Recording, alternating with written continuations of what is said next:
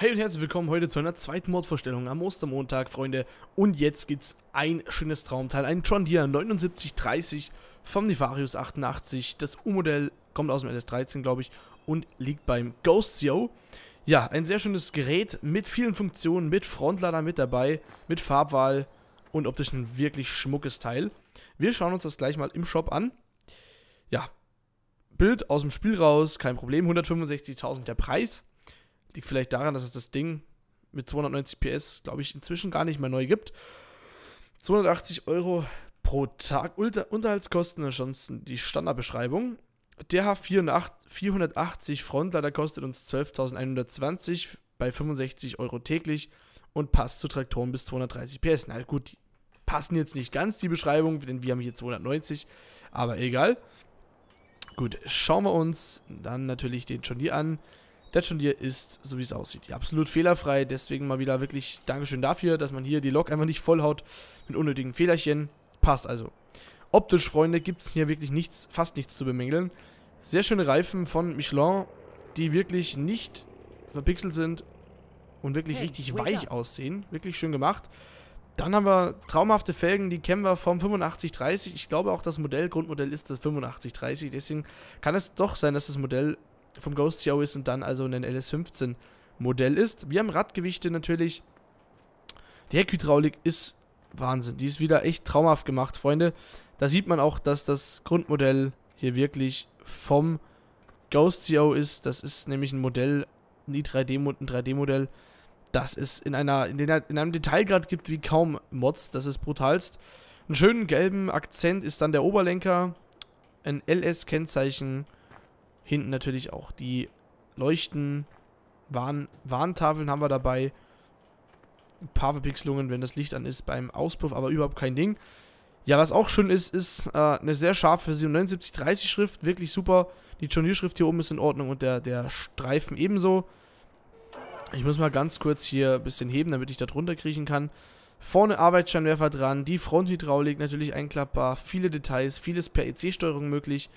Von außen lässt sich hier leider nichts machen. Also alles, was wir brauchen, ist also innen drin. Der Greenstar ist mit dabei. Hier oben ist noch eine Linie, die ein bisschen ungenau ist.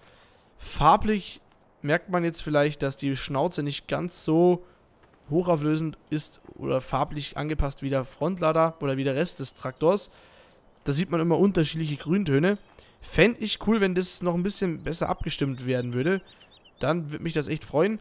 Ansonsten, wie gesagt, der Modder ja, rühmt sich selbst nicht mit, mit seinem Können, deswegen ähm, ist das allemal in Ordnung, was hier abgeliefert wird. Wie gesagt, das Grundmodell ist halt absolut der Wahnsinn.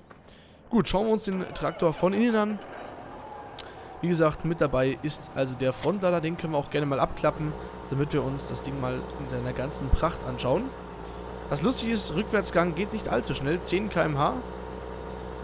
Schön langsam, schön geschmeidig. IC-Steuerung, Freunde. Jetzt wird spannend. Wir haben die Möglichkeit, die Lenksäule zu schließen, also einfach im Prinzip das Lenkrad hochzuklappen, runterzuklappen.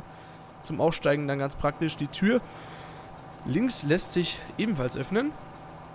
Hinten die Heckscheibe, das Heckfenster lässt sich öffnen. Wir haben oben zwei Funktionen, die heißen Zusatz, Scheinwerfer, ja, aktivieren. Das sind hier diese beiden Scheinwerfer an der Fronthydraulik. Die lassen sich dann auch gleich wieder wegmachen, wie ihr es sehen könnt. Und schon sind sie weg. Dann haben wir noch dabei hier die Rundumleuchte Nummer 2. Die können wir nämlich auch hier anschalten. Und schon ist die zweite Rundumleuchte da. Perfekt.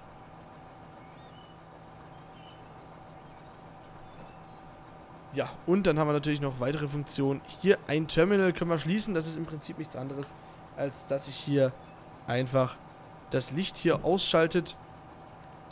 Ja, dann haben wir noch hier die Warning Signs, die sich hier ebenfalls entfernen lassen.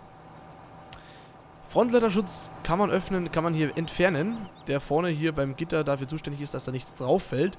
Saatgutschlauch ist eine Alternative für eine Saatbit-Kombi, ähm, wo man vorne den, den ähm, Saatguttank hat. Die sind starr, die Dinger, ähm, finde ich derzeit eigentlich nicht notwendig. Wenn es mal einen Mod gibt, der sowas, wo sowas passt, dann ist es ganz cool. Frontladerkonsole lässt sich auch entfernen und natürlich eben auch noch die Fronthydraulik ausklappen, einklappen.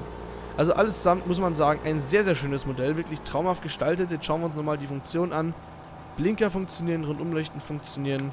Licht ist auf LS15 Standard gebracht, sieht wirklich traumhaft aus mit den schönen weißen Lichtern. Habe die Ehre, da, da hat man wirklich was geleistet, Freunde. Es gibt noch die Möglichkeit mit Numpet 9 die Radgewichte hier anzubringen. Ich finde das ganze Ding ohne Radgewichte eigentlich fast schöner. Und ja, Freunde, deswegen haben wir es eigentlich auch schon fast. Schauen wir uns noch kurz die Lok an. Die Lok ist auch fehlerfrei. Perfekt. Machen wir noch einen kurzen Soundtest.